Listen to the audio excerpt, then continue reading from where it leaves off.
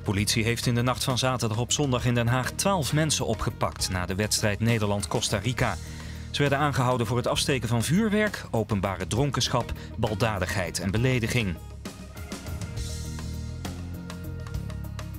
Van 14 kinderdagverblijven die onder kinderopvangorganisatie Estro vallen, is nog niet bekend of ze open kunnen blijven.